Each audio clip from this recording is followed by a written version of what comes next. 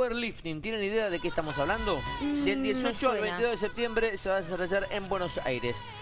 Eh, no va a participar Marcela Navarro, Va, Ah. creo yo, Capaz que pero sí. sí está con una de las que va a participar. No, no, no. Vos no, Marcelita, ¿cómo estás? Buen día. ¿Cómo les va? No, en principio no. Les quiero decir que competir con Martina, que están viendo ahí en imágenes, que tiene 17 años y levanta 385 kilos, imposible, pero imposible participar. Así que, pero vamos a disfrutar porque es una mendocina, la verdad, y que trabaja muy duro en esto. Eh, ha sido ganadora de campeonatos nacionales y ahora este powerlifting, que, va a ser en septiembre en, en Buenos Aires, del 18 al 22, es sudamericano.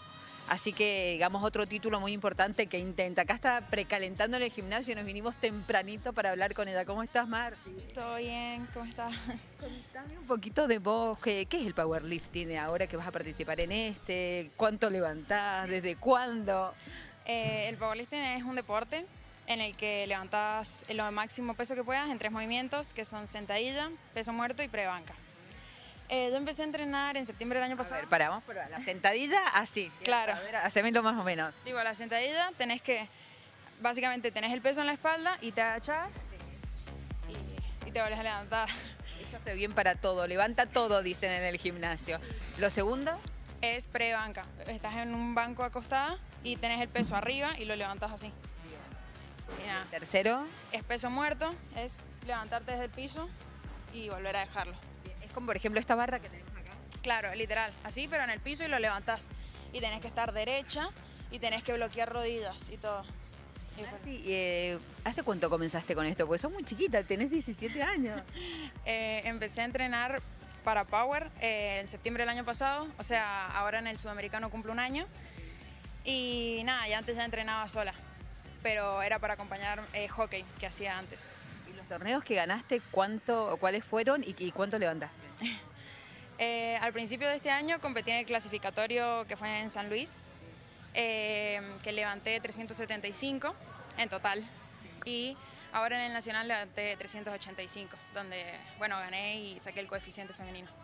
¿Eso es lo máximo que se levanta en tu categoría? Digamos, ¿hay alguien que puede levantar más que eso? Ahora en mi categoría yo tengo el récord nacional eh, de 385 de total, pero en otros países eh, sí se puede levantar más, pero también ahora en el SUA vamos a ver de ir a romper esos récords. ¿Y ahora cuánto puede llegar, por ejemplo? Eh, ponele... un kilo más, y pero levantar un kilo más debe ser mucho esfuerzo y mucho trabajo también. ¿no? Sí, obvio.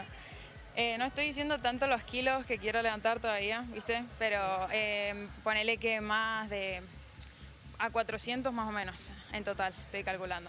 Y para eso, ¿cómo es eh, tu alimentación? ¿Cómo es tu entrenamiento? Eh, yo estoy acompañada de, de mi entrenador y mi nutricionista.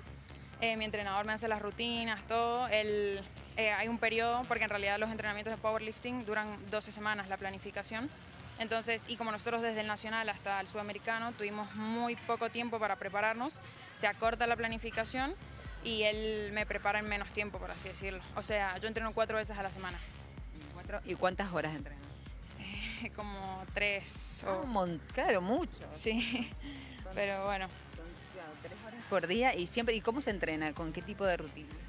Eh, siempre empezás haciendo los básicos, que son los tres movimientos con los que competís, y después haces accesorios. Y no levantás siempre el máximo peso que puedas. En realidad en los entrenamientos eh, levantás menos peso a más repeticiones. ¿Y ahora qué nos podés mostrar? ¿No podés levantar los 380? Pues, eh, Dano, eh, bueno, chicas nos contaba que tenés que tener como un entrenamiento, que precalentar mucho Claro. tiempo. Así que por ahora, ¿qué es lo que podemos mostrar a los mendocinos? Ahora con, eh, seguía con calentando y puedo levantar 100, que es parte Marce. del calentamiento también. Dale, vamos. Si querés, mira, está su mamá. Sí, decime. Pre- preguntale eh, qué, qué diferencia a tiene ver, para que acá eh, me van a hacer una preguntita sí, al el powerlifting con el, el alterofilia o el levantamiento de pesas tradicional que conocemos muchas veces en que se practica aquí en Mendoza, por supuesto, y que Bien. eh, los Juegos Olímpicos. ¿Qué diferencia hay con eso? ¿O no hay ninguna?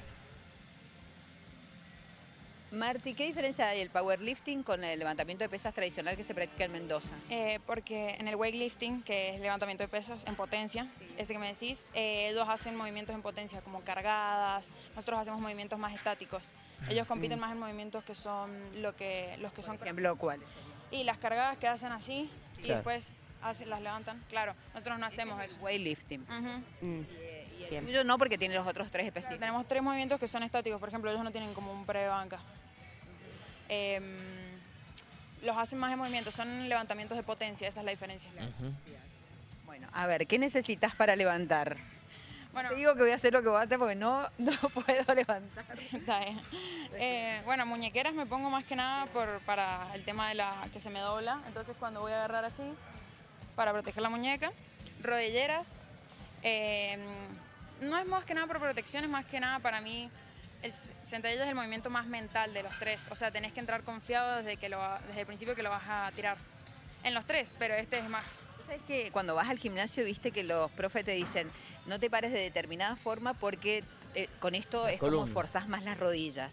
Puntualmente en este ejercicio que vos haces, eh, ¿cómo tiene que ser la parada para que no tu esfuerzo, digamos, no pueda lastimar o dañar alguna articulación? Eso depende mucho de cada persona en realidad. O sea, porque cada persona tiene lo que se llama palancas, que es, por ejemplo, por ejemplo, vos capaz sos más alta que yo y vos necesitas hacer un stand más abierto y yo necesito hacer un stand más cerrado, ¿me entiendes? Stand es la forma de pararse. claro, ¿Eh? las, piernas abiertas más cerradas. Claro. Bien, ¿qué más necesitamos? A ver. Y el cinturón, que eso es como que... ¿El cinto para qué es? Y porque te comprime, entonces vos soltás el aire, o sea, haces presión y eso te hace fuerza en la espalda, entonces nunca te vas a doblar, o sea, al hacer fuerza. En este tipo de ejercicios, ¿qué es lo más eh, importante, digamos, eh, cuidar que vos puedas dañar? E, este, por ejemplo las corrodillas. Decir de las articulaciones. Pero en general, digamos, del cuerpo. Em, yo creo que tenés que cuidar todo, o sea, porque si no realmente entra en juego las piernas, también los brazos, muñecas, el codo. Tengo amigos que eh, se tienen que cuidar, por ejemplo, más del codo o del antebrazo y decir, bueno, no entra tanto, pero capaz es por el hecho de doblar la barra acá. Es muy depende de cada persona, ese es el tema con el power, o sea, que son muchos es muy personal, depende mucho de cada persona. ¿Los auriculares para algo? Me concentro más. Ah, ¿No tenés que escuchar en, general ningún sonido eh, no, escucho música. Encontrar. ¿Qué escuchas?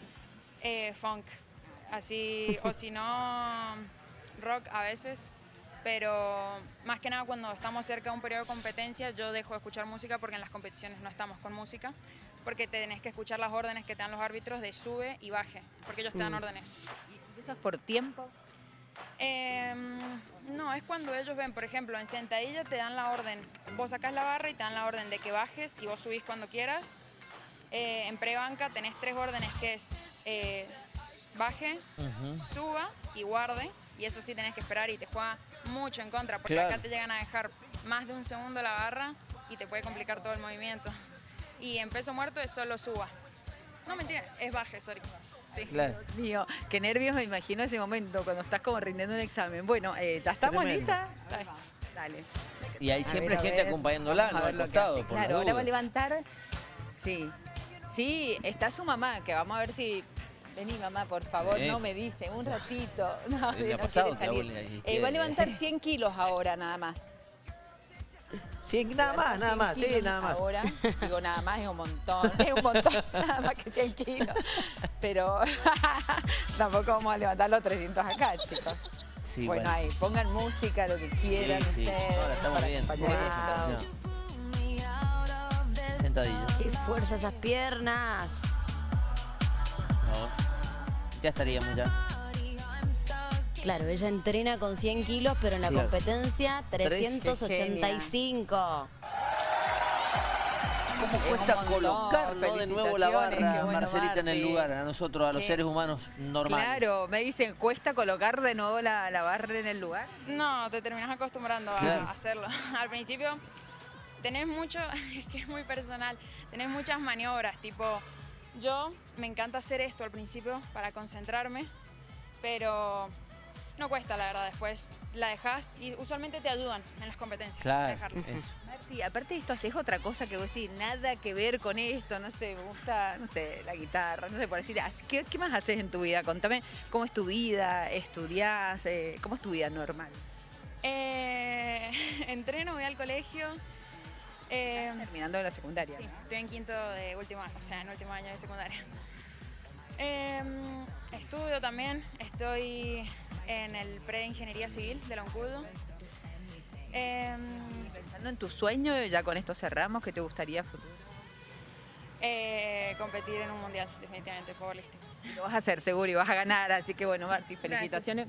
Una genia, chicas, mendocina, un orgullo. Tremendo. entrena tres horas por día y qué, bueno, así que el aplauso para ella. Muy bien, desde acá la aplaudimos, Marce. ¿eh? suerte, éxito, suerte no éxito, Vamos, Marti. éxito para ella, ¿eh?